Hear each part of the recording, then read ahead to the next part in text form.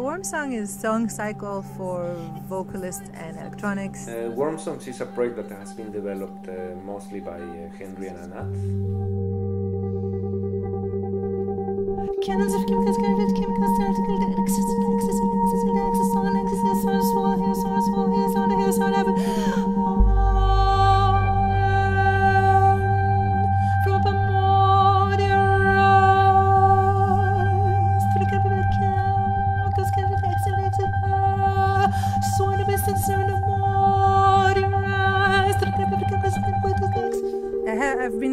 Process with Henry for a very, very long time.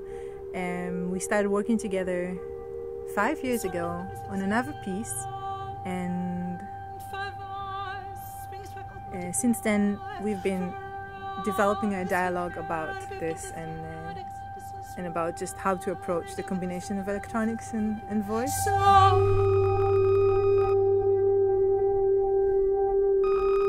I try to do the best I can to create this very intricate world that Henry created that's comprised of beautiful electronics and my own vocal samples. Oh, Righteous me tender, coming to school of come, skies all right, come on. The other element about the, the Wormsongs is this very minimal approach to making the music. The shrubs, slide, shrubs, sway, shrubs, slide, sway, slide, sway, slide, slide, shrubs, shrubs, slide, slide, sway, slide, sway, slide, shrubs, sway, shrubs, slide, shrub, that, that, shrub, the slide, shrubs, shrubs, shrubs, slide, sway, slide, sway, the slide, slide, shrubs, shrubs, slide, slide, sway, slide, sway, slide, shrubs, sway, slide, slide, sway, the. So you'll hear a lot of uh, very basic rhythms, which are uh, uh, which are slightly varied, and then uh, trying to work that with uh, with Anat's voice to get her to develop and to elaborate on these very uh, very minimal uh, elements. So in the piece, you'll hear her touching on one pitch. But then finding a lot of different ways of uh, approaching that pitch.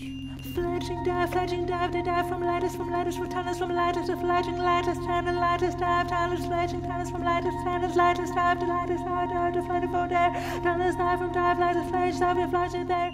I am uh, responsible for designing the digital scenography of the of the piece of the pieces. It's not really like DJing, which is uh, my ori- was my original idea. It's something more, more much more, uh, yeah, scenographical, theatrical.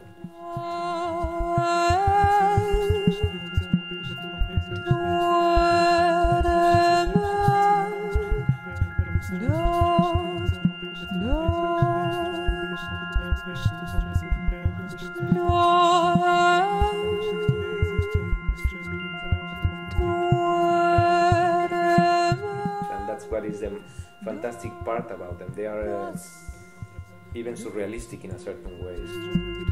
I think there's a, a bit of a band attitude in general in, in the show as well. It is quite close, it's very interactive, and, uh, and it's a bit rock and roll.